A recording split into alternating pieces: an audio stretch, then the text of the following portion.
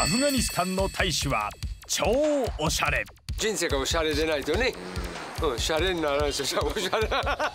で、これ三分の時のファッション。はい、これ四分の時はまた別のファッション。四分いやいやいや、五分もあります。マツコデラックスス、デラックス、デラックス、デラックス。アフガニスタン大使といった場所で予期せぬ問題が発覚した大使館晩餐会そして？楽しい。楽しい？楽しいフランス人の夢がとうとう叶った。トレジャー日本。アスドコデラックスは外国人と一緒に作る超デラックスな娯楽番組です。前回訪れた大使館はアフガニスタン。外務省の特攻情報のページではですねこれ真っ赤っかですね。えレベル4退避してくださいとそう。我々の知るアフガニスタンは政治的に不安定な場所にある国。しかしその大使館は東京麻布の中心地にありました。しかも大変豪華。バシール・モハバット特命全権大使にお話を聞いてみると我々の知らなかったアフガニスタンの姿が浮かび上がってきたのです。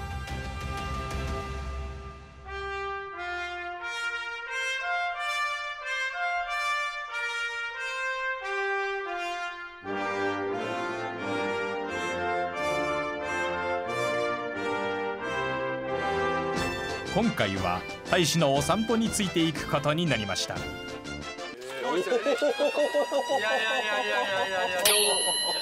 このスターでございますこれはこれはもうこちら大使のプライベートファッションうんおしゃれです人生がおしゃれでないとねうん、シャレにならないですよ。おしゃれ。そう言ったでしょ。よろしくお願いします。で、これ三分の時のファッション。はい、これで四分の時はまた別の。四分。いやいやいや、五分もあります。というかね。それな、散歩コースは、ちなみに今からご案内いたしますと、それこそ。やっぱり、あの、まあ、これちょっと見えなくなってきたんだけど。ちょうど見えなく。ちょうど見えないですよね。あの東京タワーの、あの、もう周り。そう。大使がいつもお散歩しているコースは東京タワーまでの道のり。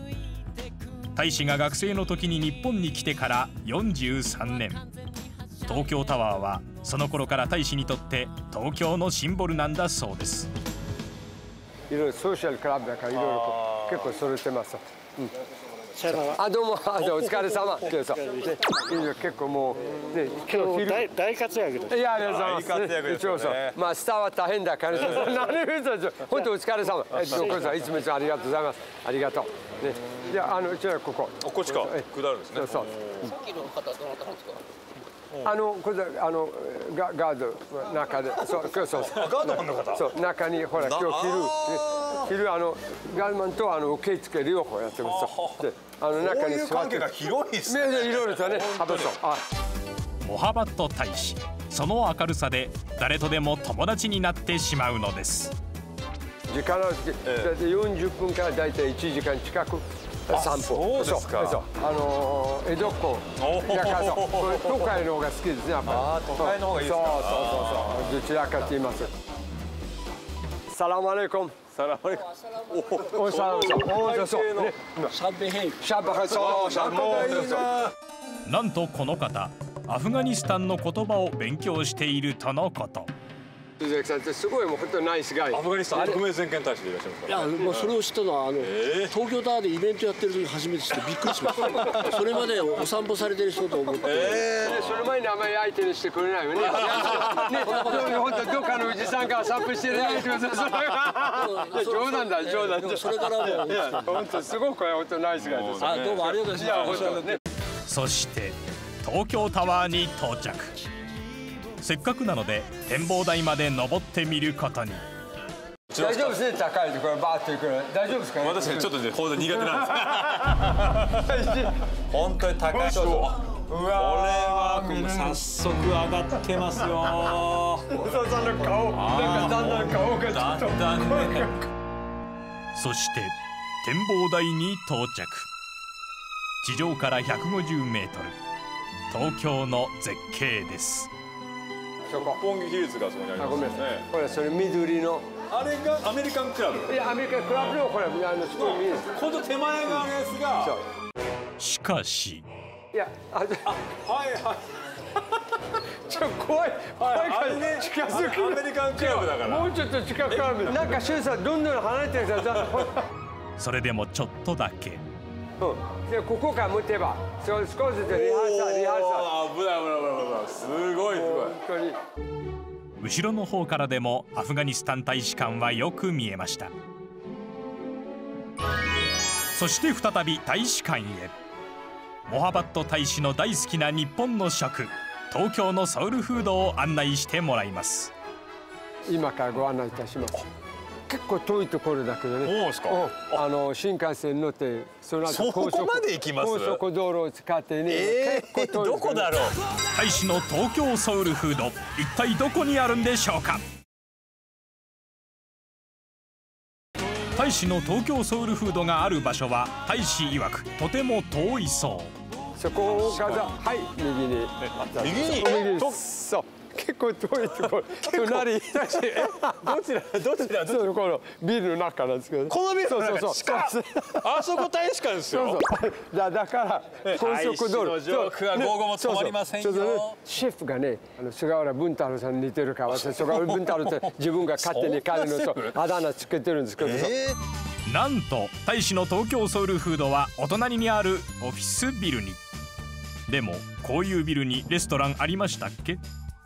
こここれはねそうこれあのランチとかメニュー見ると。結構それすごいなね。毎日毎日メニューが違う。えいやいやすごい。う。んランチ回数券。そう。11回分で8500円ってうんね結構回数券多く買いますね。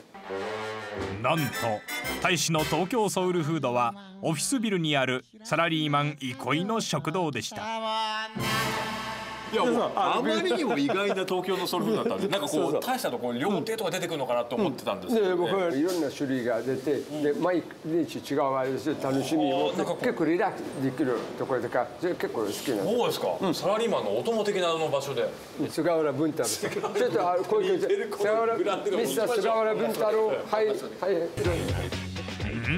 ここに菅原文太さんがいるって？いやいやいないでしょこんにちは。よろしくお願いします。菅原文太郎さん。そう。でお邪魔しますうおお。確かに似てました。アフガニスタンの大使がですね東京で一番うまいんですよ。っていうことそでれはちょっと。伺わせていただきました。ちょっと大きいで見ます。何年ぐらいお付き合いが10年。近く10年近くそう。ですね。そうねもうもう11年前麻布の菅原文太こと及川さんはこちらでシェフを務めて15年。毎日一工夫凝らしたメニューでお客さんの心を掴んでいます。いつもどんな感じで大使はお料理頼まれてるんですか？いやよりあのりセルフセルフになって。セルフ？そうそう。そう取って？そうそう。自分で。あそうなんですね、こちらのランチセルフサービス。日替わりのメニュー本日はカジキのプロバンス風ソテー。それにおかずサラダスープがついて850円。まさにサラリーマンの味方です。このビルの働く方々と一緒にこう食べるというね。そうですそうです。結構いい方ねばかりで。これぞリラックスできててちょっと隣だしゆっくりもできるし。そう。モハバット大使は日本のサラリーマンの方々と席を並べご飯を食べるのが大好きなんだそう。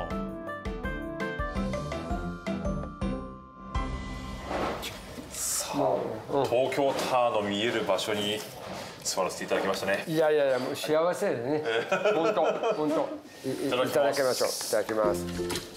えー、これは、カジキはい。マグロのソテーでしたっけ、はい、いただきますこれはうーん。サラリーマンの味方。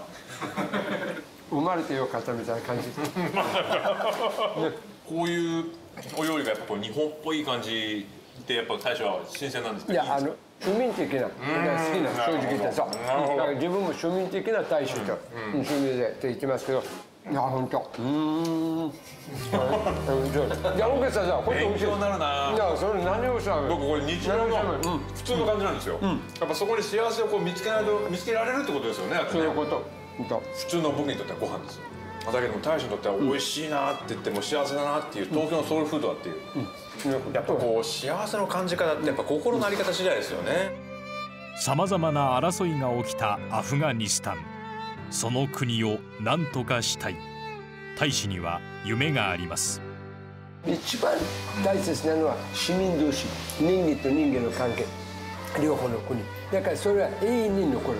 自分の世代に世代自分の子供に残るし孫までそれこそ世代から世代に残るできるだけ日本人とアフガン人は国同士の国民をできるだけいろんな意味で一緒に会えたりまたその近づくそれを機会をこう作ろうと。それを努めようとはしてますから、石油石油ガス天然ガス資源ですね資源の何でももう結構必要とされてるその,、あの資源、もう、えー、のの薬物いろいろそれをこうできるだけ日本、ほ、うんで日本からもいろいろ投資技術だとかいろいろそれも時期が来ればまあこれからそちらの方も力入れる。レベル4がやっぱ渡航ができるようになったら、うん、わっとやっぱり開始していけるように準備をするわけですか？